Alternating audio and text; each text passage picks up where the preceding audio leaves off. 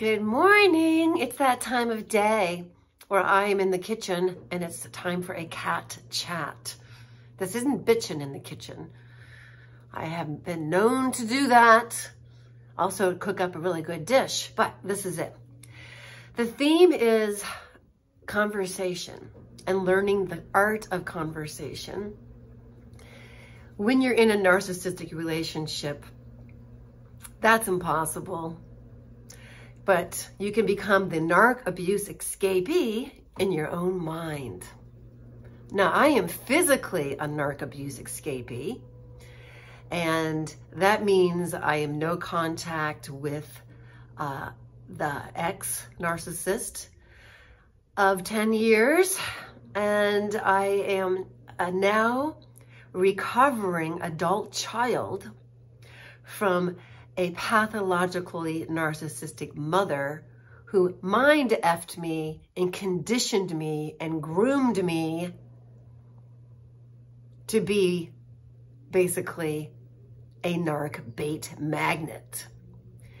So I was conditioned to give and give and give. I was conditioned to compromise and compromise and compromise.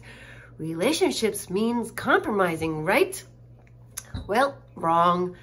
I was always doing the compromising. So when I was the only one unhappy constantly, and the partner was always like, well, it's your problem. You go talk to the shrink. I haven't got a problem. Then it became quite evident to me that I was not part of the problem. And when I left the relationship, my life became better. I am not suggesting this for all people. It is not practical for all people unless you're being terribly abused and terribly misused or slowly poisoned by arsenic or something. So let's just talk about the art of conversation and what a conversation actually is. What is effective communication, everybody? Well, how does it begin?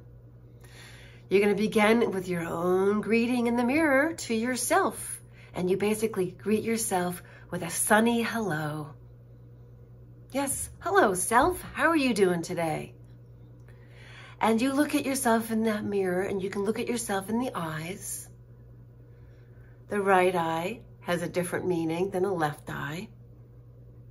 I tend to look into another person's uh, right eye when I speak. No, do I? Let's see. So if they're facing me, I look at that one. No, I look at, okay, I don't know. I look at both of them intermittently. One's supposed to be into the soul more, and one of them is supposed to be how to bend, bend them to your will, which is what narcissists do to their children. By both the gaze, they use the gaze. My mother, uh, Ombo, almighty big one, so Ombo, the pathological narcissistic mother I had, who I didn't discover that she was this bad until 2022. The brain goes into trauma amnesia. And we're going to talk about the brain too. And I'm going to say it right now.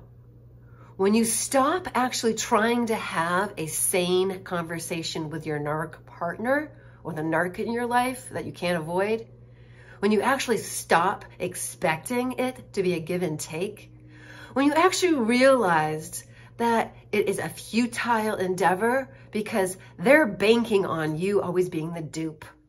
It's what their whole entire life is based on, being superior to you. So when you stop that futility, you will suddenly discover, well, it may take a little bit of time. You're th- clearer thinking, you can recall more, you remember more, and what's more is there's more of you for you. There's more of you to enjoy your life. There's more of you to enjoy of your life. With or without that effort in it. I do not like these types, and it's not normal, and it's not going to be normalized. And if I could wish one thing without any uh, karmic ramifications, I would wish that all the nurses would find each other and die off. Just stop procreating because they're just awful people and die off. But instead, because we're in the end times now we're in the worst of it in America, the United States, that is. We're in the worst of it. Can it get any worse? It is. Uh, that people who are narcissists will breed narcissists. Well, hopefully, uh, they won't be able to damage their kids or their kids will become, I, I, okay, I'm not going to karmically indebt myself to that curse. But what I am going to say is I wouldn't shed a tear if every last narcissist on the planet suddenly just poof, disappeared. But it won't happen because we're in the end times, which means the demon is trying its very best to infiltrate and influence as many people as possible. And narcissists, guess what? Are very easily influenced. And they're not that bright. They fooled you into thinking they were. They just have a good game. They're bluffers. They're bluffers. That's all they are. Big effing bluffers.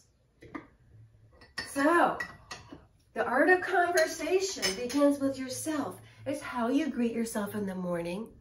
It's how you greet yourself. It's how you would greet a, a happy kitten or a puppy or a dog that you love or a child. That's how you greet yourself. What else is in a conversation, everybody? Listening. My Ombo never listened to me. Ombo is oh mighty big one. I will not call her mother because at her age of crazy 88 and getting more and more senile by the second and 3,300 miles away, thankfully, by design, I uh, am um, able to completely limit my exposure to the narcissistic abuse I received on the daily. And therefore, I have exponentially over the years since my escape from that one in Virginia, my guy, my guy, my guy, yeah, the big galoot, the big dumb galoot, who is now, woo, woo, woo, he's got DTs. I left in his alcoholism and on to a high new low. You don't have a conversation with these people. They can't have a conversation. They talk at you. They never talk to you. So you talk to you. You listen to you. You look at yourself in the mirror or you spend time listening to what you have to say. And stop reacting and responding to their dim-wittedness. They're all ombos. I don't have an ex. I have ombos in my past. All of them. Oh, mighty big ones. And when you think of them as that, you can see them as the real dolts that they really are. There aren't that many uh, brain cells firing away in the intelligence department. They've absolutely none in the empathy department and absolutely none in the compassion department unless it's to their advantage and makes them look good to others. Then they'll exercise compassion so that other people can see it. Yeah. I do not like these individuals. I do not think that they deserve a place in this society. And therefore, my society has excluded them and my life has become better and better and better and better and better. And I know how to deal with them. And it's with a big dose of humor and a large helping of I don't give a crap about you. Yeah, it's great. So freeing, especially when you see one trying to be mean to you. And it does. Water on the duck's back, baby. I've been abused well past anything anybody can do. No being has the capacity to ever measure up to the cruelty I've experienced at the hands of somebody who loves me. So it feels so good for this chick to be free, to be 100% free, and learning how to have the dignity of learning to listen to myself and learning to have positive self-talk. Cheers to that. This is coffee in a Christmas mug because I like it.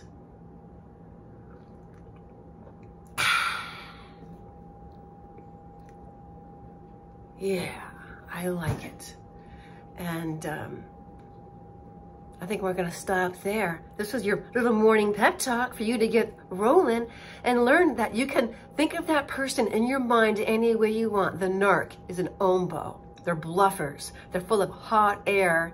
And if you don't respond, do the gray rock method. If you don't respond, you will discover your clarity of mind will increase because you're no longer reacting and responding to lunacy.